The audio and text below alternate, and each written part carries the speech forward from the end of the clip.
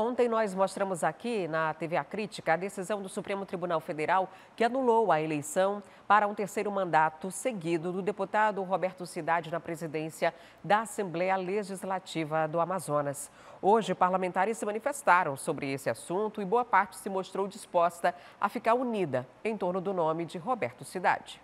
Cedo pela manhã, a Procuradoria do Legislativo Amazonense foi notificada da decisão do ministro Cristiano Zanin, do Supremo Tribunal Federal. Roberto Cidade, reeleito pela terceira vez presidente da Assembleia Legislativa, não pode continuar no cargo e precisa convocar novas eleições.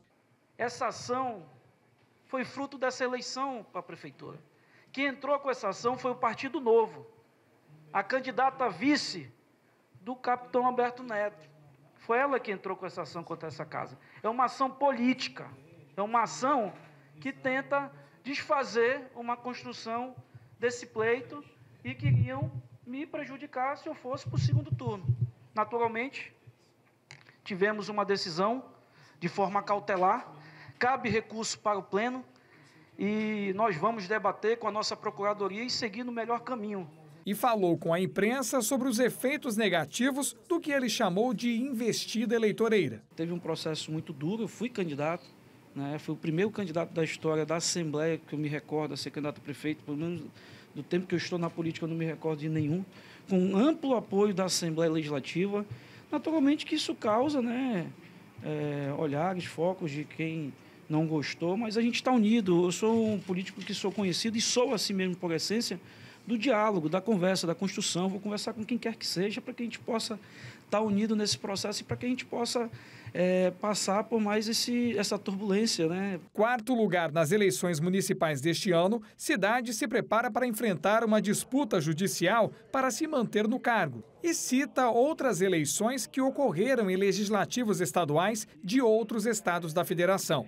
É uma decisão que a gente tem que cumprir, é natural mas 14 assembleias do Brasil refizeram as eleições. Isso está sendo um tema que está sendo debatido nacionalmente. Né?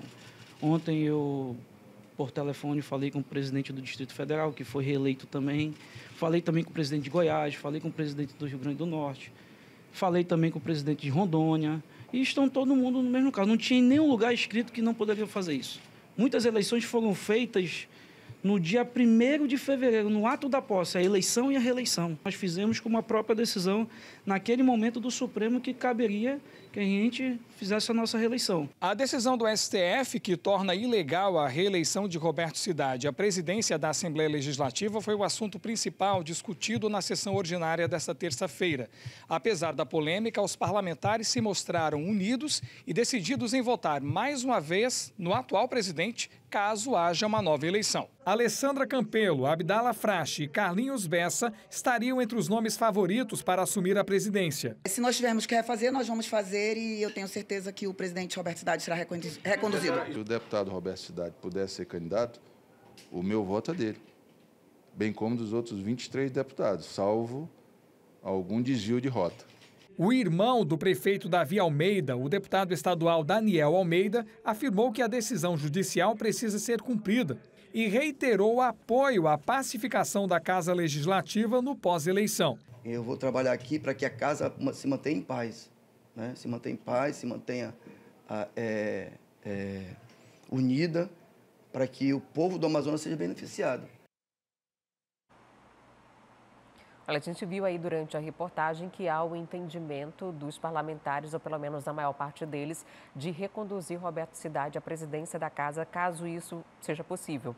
E que vão continuar juntos. E é natural isso, até porque o grupo político continua o mesmo, não houve nenhuma quebra. Até agora, é, o próprio irmão do presidente, do prefeito de Manaus, Davi Almeida, Daniel Almeida, que é também deputado estadual, ele chegou a questionar na época da eleição, mas também votou a favor de Roberto Cidade.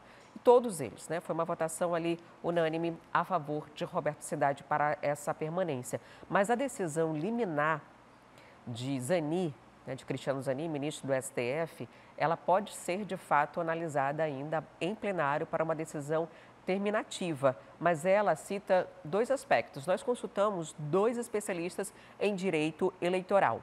Um deles considera que Roberto Cidade pode sim ser candidato, como ele próprio disse, que já consultou ah, o jurídico da Assembleia Legislativa e que pode ser candidato, levando em consideração que o erro questionado pela decisão é a antecipação. Essa eleição, só para frisar, aconteceu em abril de 2023 para 2025. Por outro lado, outra, uma outra consulta jurídica aí que é a maior parte dos entendimentos, inclusive na própria corte do STF, que já derrubou eleição semelhante a essa em Tocantins e no Piauí também, é de que a questão é a data, antecipação desnecessária. Inclusive, eles mudaram o regimento da casa, fizeram uma emenda para que isso fosse possível, para que ele fosse eleito novamente e teria dessa forma três mandatos consecutivos. Essa decisão, ela questiona também essa continuidade, seguindo a jurisprudência do STF, assim como também seguindo o próprio regimento da casa, que já foi alterado novamente.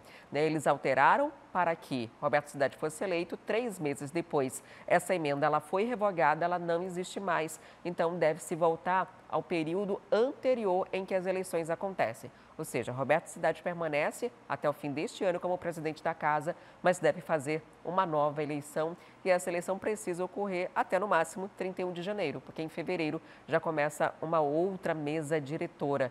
Ele até poderia ser candidato, mas não ao mesmo cargo. Mas ele vai questionar isso, vai defender e diz que pretende sim ser presidente mais uma vez. Quer ficar por dentro de todas as notícias da programação de A Crítica? Então já se inscreve no nosso canal, ativa o sininho para receber todas as notificações e não perder nenhum conteúdo. E até o próximo vídeo.